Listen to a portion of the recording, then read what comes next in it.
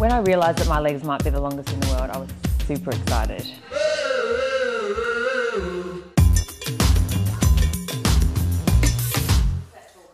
Former model Caroline Arthur has legs that measure in at 51.5 inches long.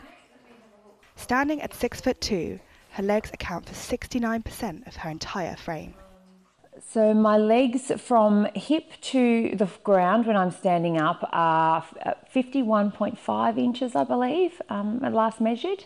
So I, I, believe that they are amongst the longest in the world, uh, definitely in Australia as far as I know. And I think I am going to try and contact the Guinness World Record. The lady that's in there at the moment with the Guinness World Records is 51.9 inches. So I think being so close, it's worth contacting them and just finding out. As long as I remember, I haven't been able to purchase clothes.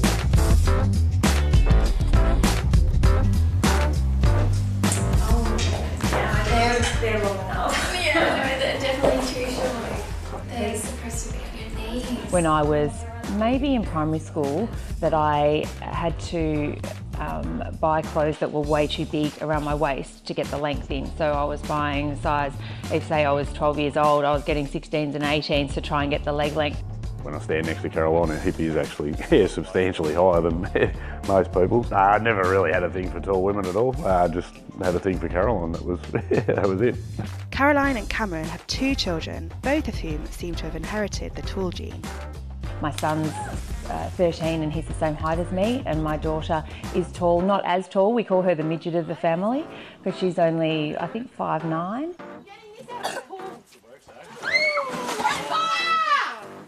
Mum looks like a giant, like a human skyscraper. When we're out in public, she's like towering above everybody else. But no, I think my mum's really beautiful. I feel like I've taken after my mum with my height and long legs. My mum is five foot three, I think, and so she's tiny. But when we go out shopping together, people don't believe that we're mother and daughter because she literally fits under my arm. Well, Caroline obviously doesn't get her tallness from me. She was always taller than all her friends. I'm really proud of her. I love going out with her because I love seeing the reaction of people to her. I often walk a few paces behind just to see the reaction of people when they look at her. Growing up, Caroline was conscious of her height, but modelling offered her new opportunities, and she eventually learned to love her long, lean legs. Growing up, I think I can. Rem- I always feel like I've been tall, and my nickname at primary school and in high school was Caroline the Powerline. I did feel awkward and unattractive, and I had a real stage where I, I wasn't, didn't feel beautiful. I think I was 15, and I think that's where I started modelling, and, um, and and just went from there.